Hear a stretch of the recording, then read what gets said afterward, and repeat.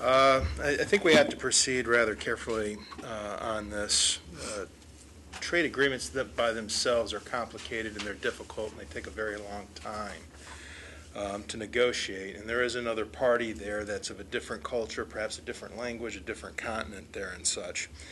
And, you know, we're going to tell our president, and we're going to tell our um, federal legislature that they've got to craft an agreement that 50 states have to agree on, I think that's rather cumbersome.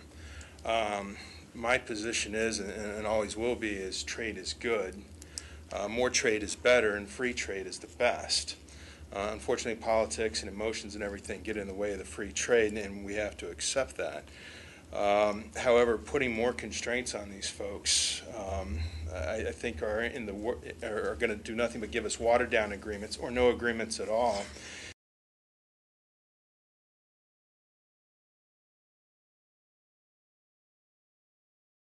So I do not see how this promotes trade, which is what this TPPA is supposed to be about.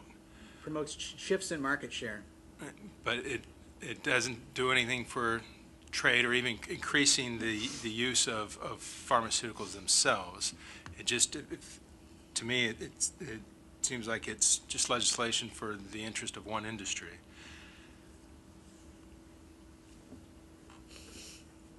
Yes, Am I reading, am I uh, understanding that correctly? I think so. Okay, so, I've, I have quoted the industry's position in the paper version.